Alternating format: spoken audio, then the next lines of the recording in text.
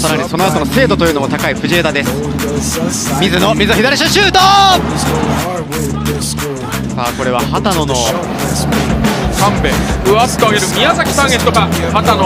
暮らしてというところだったんですさあここでもう一回放り込んでいく。キーパー畑野出た。よく出ましたね。いい判断。そしてここで速い攻撃。い。いボールがつながった。宮崎はしっかりと前戻ってきました。宮崎これを使いない。宮崎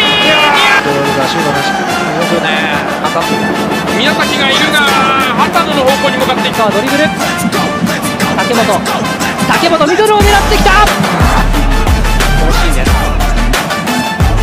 はい相側のところに阿部海斗と。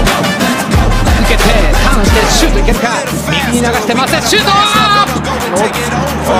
最後マセがシュートに行きましたがハセスも狙いますゴールに向かっていくボールコーナーキックは仙台。チャンス中央へ。畑のパンチング。長倉。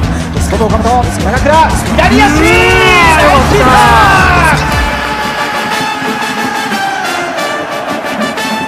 増山そして旗野を狙う。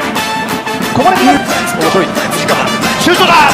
正面ですから右足